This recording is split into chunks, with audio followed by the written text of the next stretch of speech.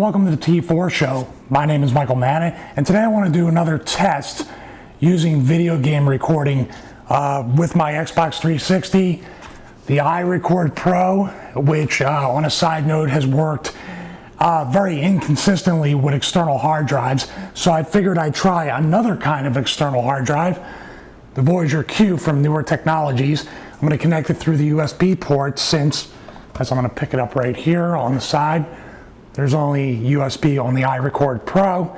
And I'm going to give it a shot and see what happens. Connect the AV cables from the TV out to this, USB to this, and plug in one of my one terabyte uh, Western Digital Green hard drives and uh, give it a shot and see. I know I've been using Slingbox uh, to record from time to time, but there has to be a more direct, easier way uh, without using up my network bandwidth. So I'm going to give this a shot right here and uh, let's do it right now.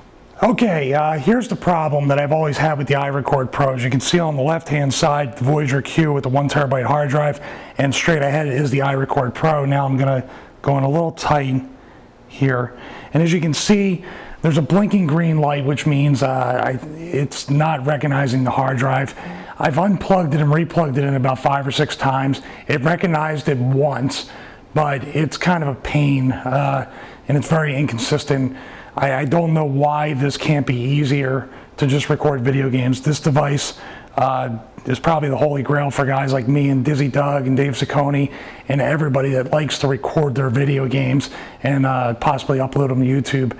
So um, I have no idea why it doesn't work and I guess I'm gonna have to stick with, stick with the uh, Slingbox solution, but I really wish something like this uh, would work a lot better for me because as you can see it's just directly plugged in. I can take the hard drive upstairs and uh, edit the video right from there rather than going over the network via the Slingbox.